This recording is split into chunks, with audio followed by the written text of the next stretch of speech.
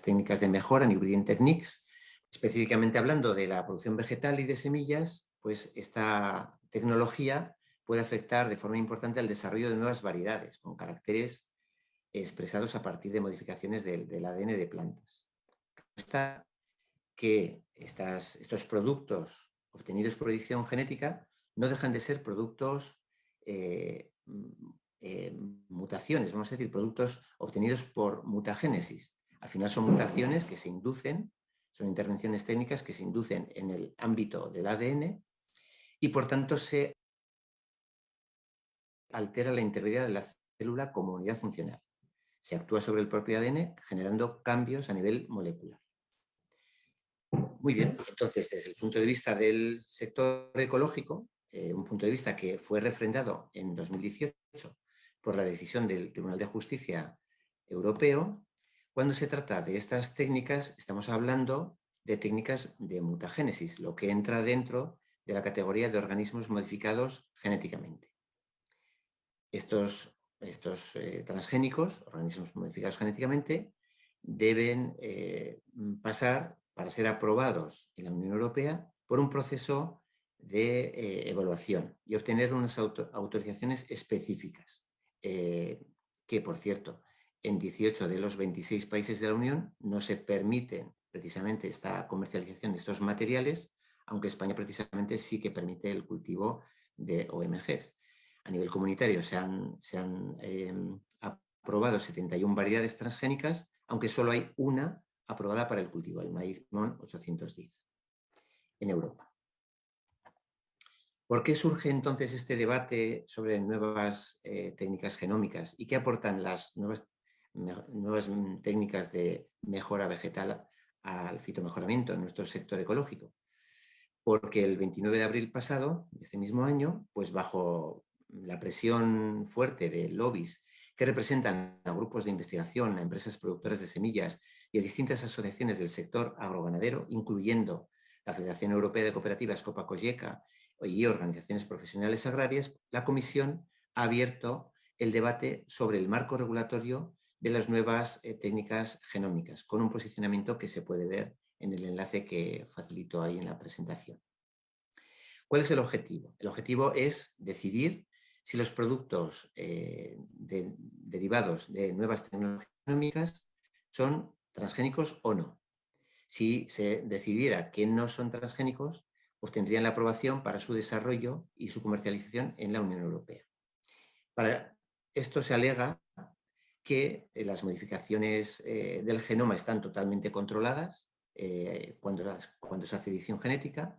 que no se pueden detectar plantas que hayan sufrido modificaciones genética, que no se insertan secuencias de ADN ajenas a la propia especie, es decir, secuencias transgénicas, y que el avance en el fitomejoramiento es muy rápido. Esto se alega a nivel técnico, pero si observáis y leéis eh, eh, publicaciones técnicas que eh, de este mismo año, del año pasado, son totalmente recientes, en realidad sí que se observan modificaciones del genoma incontroladas, Sí que se pueden, editar, se pueden perdón, detectar plantas editadas con CRISPR. Es un proceso costoso y largo, eh, requiere técnicas bastante avanzadas, pero sí que se puede conseguir, pero es muy caro. Todavía hoy hay que determinar qué plantas entre las líneas desarrolladas por CRISPR no llevan secuencias ajenas a la propia especie, es decir, no llevan secuencias transgénicas, porque en el proceso de obtención sí que se mete eh, ADN transgénico y el avance en la obtención de variedades editadas genéticamente puede suponer entre dos y cuatro años de avance sobre las variedades obtenidas, desarrolladas por mejora tradicional, lo cual supone un avance, vamos a decir, todavía corto, no es demasiado, no es demasiado avanzado. Entonces, eh, realmente el desarrollo de estas técnicas todavía es muy prematuro. Hay que, eh, digamos que todavía poner eh, los puntos sobre las IES con este tema. A otros niveles, puede parecer que las nuevas técnicas genómicas van a resolver los problemas de los sistemas alimentarios, porque parece que hay unas expectativas enormes con estas técnicas. Parece que se, pueden, se van a poder obtener variedades mejores que las actuales, no solo mejores, sino que con todas las características que quieran los obtentores. Resistencia a sequía, resistencia a enfermedades o plagas de todo tipo. En realidad todavía nadie sabe a dónde se puede llegar y cómo, porque se afirma que son, incluso se afirma que son técnicas compatibles con la producción ecológica, pero esta afirmación no tiene ningún fundamento. la gente que afirma esto tiene un completo desconocimiento del sector. Las soluciones que buscamos en el sector de producción agroecológico están basadas en criterios holísticos. Contemplamos la producción como una parte del ecosistema. Y esto recuerda a la situación de cuando empezaron las aprobaciones de transgénicos o las solicitudes de aprobaciones de transgénicos a mediados de los 90, en las, cuando nos decían que los transgénicos eran interesantes para el sector, muy interesantes para el sector ecológico porque a, no íbamos a necesitar tratar con nada porque gracias a los transgénicos se iban em, a, quitar los fitosanitarios, lo cual en realidad ha sido todo lo contrario. Precisamente donde se,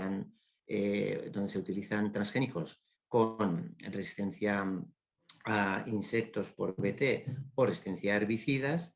eh, pues resulta que se están aplicando todavía más eh, insecticidas y todavía se están aplicando más herbicidas, porque eh, se están consiguiendo, eh, se están desarrollando plantas e insectos resistentes a, estos, eh,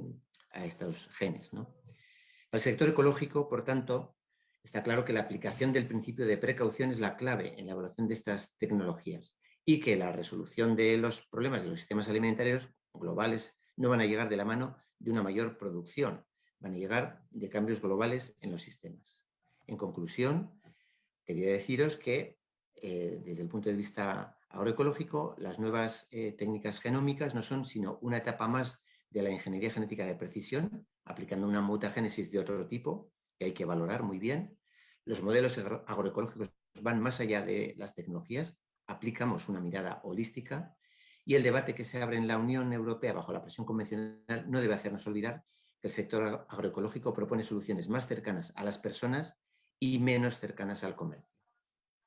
Y eh, quiero terminar con esta frase que me ha gustado, la he encontrado precisamente en un artículo sobre el CRISPR y, nos dice que es verdad que desde hace mucho tiempo, creo que todos tenemos esta misma sensación, los humanos han contado con las herramientas necesarias para hacer de este mundo un lugar mejor. Pero ahí donde el amor, la compasión, el altruismo y la justicia han fracasado, pues la manipulación genética no triunfará. Muchas gracias.